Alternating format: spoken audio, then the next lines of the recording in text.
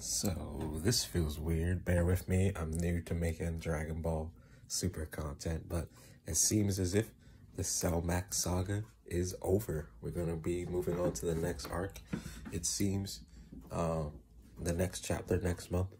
So I just wanted to talk about that fight with Goku and Vegeta, man. I was like, I was tearing up. Broly was tearing up. That's what made me want to make the video or this video. And um, yeah, overall, I I don't know what to really say about the arc. You know, it was it was interesting. It was fun to read it because I didn't watch the movie. I didn't watch superhero movie. I may watch it now because I watched all the other super movies, but this is the first movie that I got to read in the manga first before watching the actual film. So, uh, I just wanted to say it, it just felt like a Dragon Ball ending. Everyone's cheering and celebrating in the end. Pan's learning how to fly. She already's flying around and shit. It all adds up because at the end of Z, we find out that Pan flies around the Earth in record time. You know, she flies around the Earth multiple times or whatever. But um, yeah, Cell Max was an interesting version of Cell because I'm so used to Cell being articulate. This one was just pure rage personified, and it was just like, yo, what in the world is going on? How are they going to beat this guy?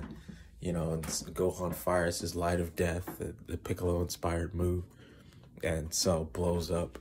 You know, uh, if, if in case mother suckers wanted to know how I felt about this being a repeat of Gohan versus Cell, you know, Beast Gohan looking like Super Saiyan 2, it was not like it at all because there was no, well, there was a power clash, but eventually Gohan's move worked. Whatever. I, am not even to talk about that because people be trolling. They be talking about it's just a repeat. And by people, I mean people in the Discord, man, the troll syndicate. uh, you know, it, it wasn't a repeat, man. It is it wasn't. But um yeah, this was an interesting arc, man. It was fun. If I had to say what describes this arc, fun. It was a fun arc, a good read. Uh, Vegeta finally beats Goku. I was tearing up again, man. Like in that panel with Broly and um the other guy, the ex Frieza chef or Frieza, the guy who's going to be cleaning and cooking for Beerus now. He um he was tearing up too, and I was like, "Yep, that's uh, Toriyama did it again, man." Or what's his name, Toyotaro, one of them, whoever the writer of Super is. I was like, "How?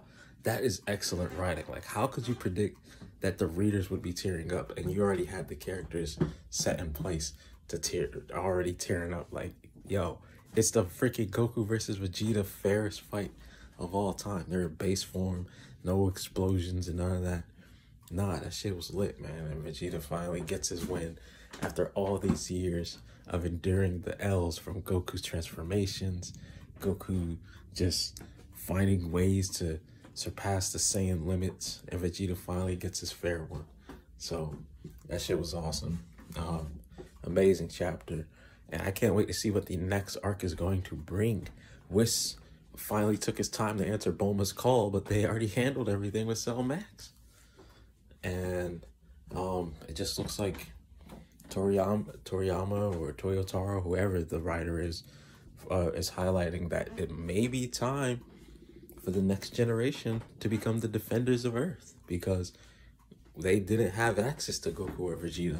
And Piccolo even said he doesn't even know if Goku and Vegeta would have been able to defeat Cell Max.